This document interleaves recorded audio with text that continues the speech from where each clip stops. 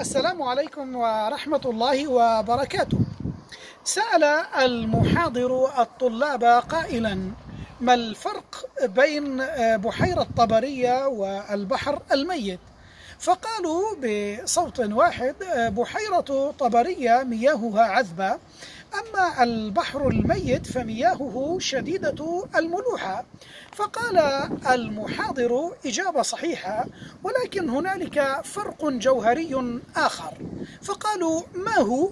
فقال أما بحيرة طبرية فإن المياه تدخلها من نهر الأردن والثلج المذاب من جبل الشيخ ثم تخرج منها لتسقي الشجر والبشر.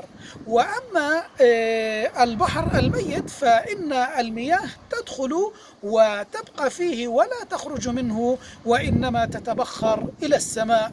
وهذا هو الفرق بين الصالح والمصلح.